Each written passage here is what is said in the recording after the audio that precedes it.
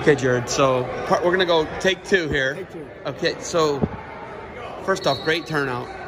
Uh, you got teams that they get a they get a round off. Well, each team gets one round off. teams do, some Okay. So Acid, one of the best teams here, gets round one off, and then they're probably gonna go out there and it's gonna be war. I can't wait. But let's talk about bringing the college teams in. Did everybody have the opportunity to get the Cedar Point tickets? Yeah, all the participants, yeah, they get a uh, code, QR code. All the participants get a QR code for the Cedar Point ticket, know, day ticket. And the park is open, which we talked Yeah, about. yep, yep. The international staffing issues they have.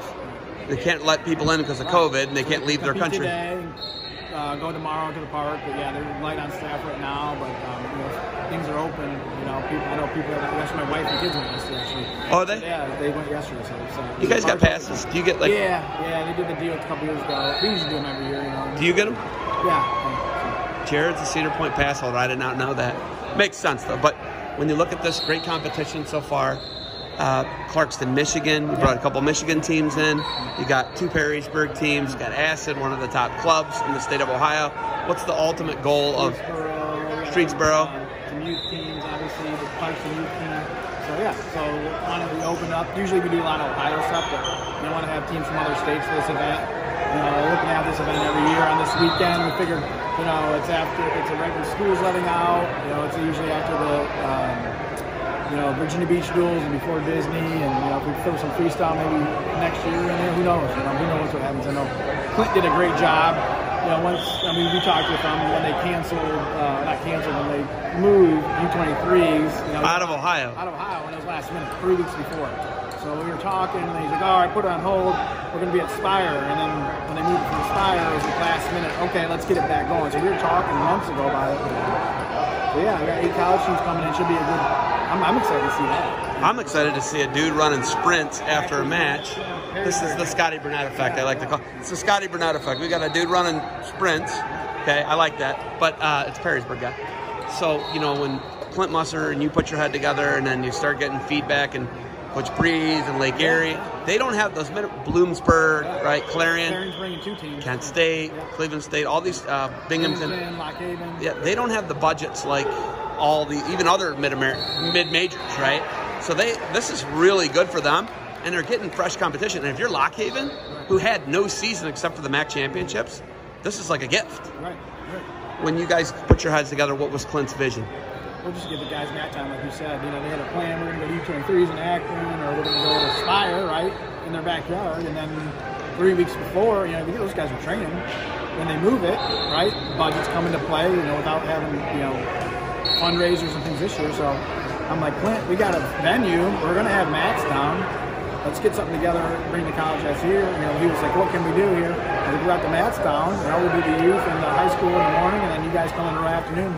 So, you know, they're coming in this afternoon, you know, so they can drive in, and make it a one-day event, right?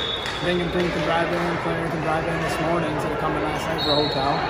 Stay tonight, and they can go to the park tomorrow. So it kind of works all the way around. They're going to get some mat time. They're bringing their extras. We'll have mats down. We'll get, you know, we talked about the officials crew. Got some quality officials, so they'll get some extra mat time. So that's, I guess, how it came came about. And um, we'll see what happens with U23s next year. And, you know, it's a dual format, so you can bring the whole team. Right? The U23s, you might not send everyone out to Omaha or wherever it's at. This is the first maskless event, Yeah. the first fully open event for Cedar Point. Yeah. And do you have the whole venue? I know you didn't rent the whole venue, but are- is it just wrestling today? Right now, this- yeah, there's nothing going on, so it's just us. I've never been here with it like this. Yeah. There's normally been basketball, or basketball, right? volleyball or something going on. Right. Yeah, and it's so massive. Yeah.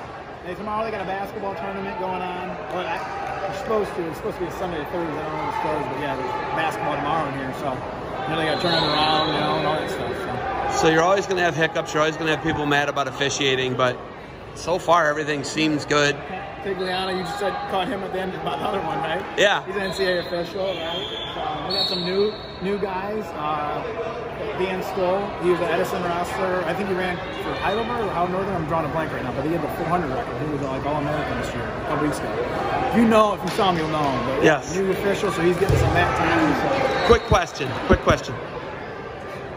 There's a vision for the National Middle School duals. You know, he's exceeded his vision in, in Dom D'Amelio and what Genoa does, and BTW kind of runs that event. It's Dom D'Amelio though. He's the oh, core of it, right? guy, yeah. And it has grown into an absolute monster His event, son's here. yeah, right? And his son's called. He's he's in the shot right now. Actually, his son is. But is there growth like that? Is there a future looking for growth like that in this We're going to see, you get through this weekend and see what the feedback is. But yeah, we have the room. Like, right, we have six down comfortably here. You know, we could double, uh, put two, uh, 12 more down easy, and then we come up here. 18 more. 18 here. So you could Well, put 24 well, mats well, on almost. No, it'd be, you know, it depends how we start. When we pull these up, we can fit more. We could fit 18 right here comfortably, and then probably two or three up there. So maybe 20 minutes. 20 mats. But we'll see, you know. Don't want to bigger, put get too far ahead. Always, yeah, bigger isn't always better, right? Dom's model, exact. Yeah. That right? Let's stick to the 32 teams, put 16 match on, everybody's wrestling. So we'll see where it goes. You know what I mean? But um, looking to keep it first weekend in June. So if it's a freestyle type of event, we'll see. Jared, thank you for the time. I got to go grab all these coaches, talk to them. Good luck at, at the event. Run smooth today. I'm going to call some matches here, probably the championship match uh, in the afternoon sometime. So, thanks, Jared.